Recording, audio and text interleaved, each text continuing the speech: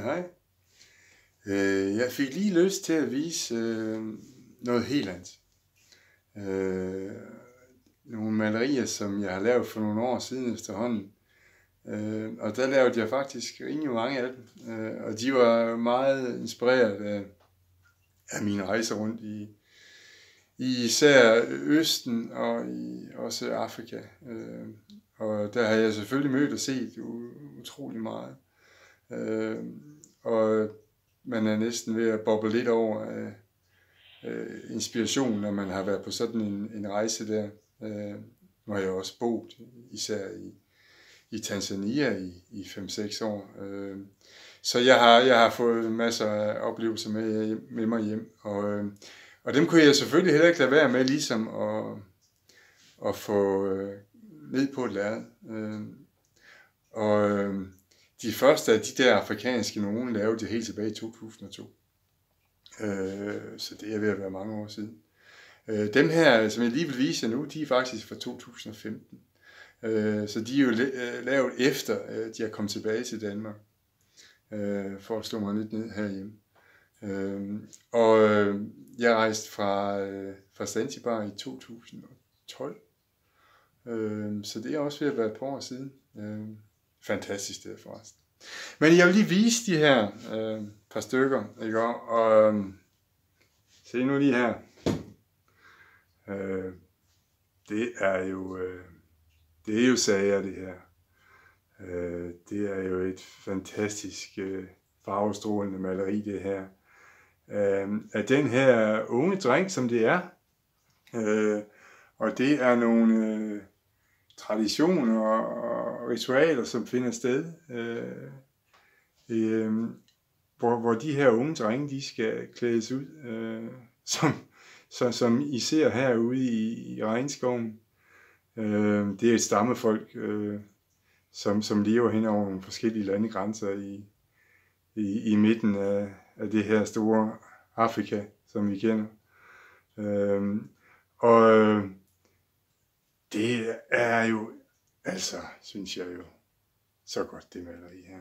Øh, jeg, jeg har altid synes det var fantastisk. Øh, og øh, det er, det er nok så meget Afrika, som det næsten kan blive. Øh, og øh, et andet, som jeg vil vise jer, det er fra den samme stamme, eller område. Øh, og det er også en dreng, øh, som, øh, som er klædt ud. Og det er her. Ja, jeg ved ikke, om man kan sige, at han er klædt ud. Øh, men øh, han har i hvert fald fået noget, noget grismaling på her, kan man sige. Øh, og jeg har selvfølgelig bygget maleriet herop, øh, efter hvordan jeg synes, det skulle være. Øh, øh, jeg har fundet, øh, hvad hedder det, de her fotos af de her øh, rundt omkring på nettet og i bøger. Jeg har trævlet rundt, og jeg har da også lavet, øh, hvad hedder det, malerier ud fra, fra egne fotos og sådan noget. Øh, så det har været en, en blanding af alt muligt, som jeg har malet og, og sat sammen efter, hvordan jeg lige synes, det skulle blive. Øh, og jeg synes virkelig, at de to her er, er rigtig gode. Øh, så sådan noget laver jeg også. Øh, jeg laver det ikke så meget mere, men jeg kan altid overtales, hvis der er nogen, der, der har været ude at rejse, som øh, har et eller andet, de tænker, ah, det kunne nu være fedt, det vil minde mig om et eller andet, øh, eller et portræt af en eller anden, de har mødt, eller noget øh, fra deres rejser, så kan jeg da finde, øh, finde penslerne frem og, og, og lave et mere. Nu er det lidt synd, der er lidt mørkt der, så vi, så vi kører lige over her på den anden derovre.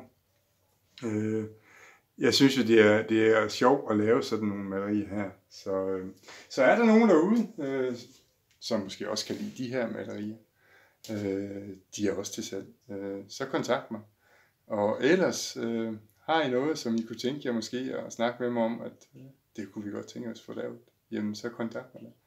Og så ser vi der på det. Så øh, jeg synes bare lige, det var sjovt at, at vise noget andet, som jeg også øh, laver. At det er ikke... Øh, det er ikke kun øh, rockstjerner og Øh, store abstrakte værker, jeg laver. Jeg laver altså lidt af hver, øh, og det er det, jeg synes øh, er det fede, øh, og som jeg godt kan lide ved at male, det er, at jeg ikke, øh, jeg låser mig altså ikke fast øh, på, på, på noget bestemt. Øh, så, så der er muligheder.